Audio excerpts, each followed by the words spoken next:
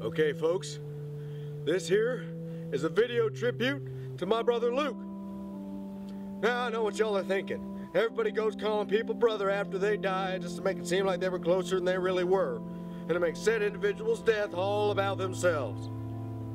Well, I ought to punch you right in the asshole for thinking some stupid shit like that. The reason I never called him brother when he was alive was because I did not want to feel like a homosexual. And you cannot be gay with a dead man. It is just impossible. So, for all you pansies watching out there, this here is a video tribute designed to honor and celebrate the life of my dear brother, Luke. Okay, here I have Luke's 30 6, and with it, I'm going to shoot him a 21 shot salute. Here goes.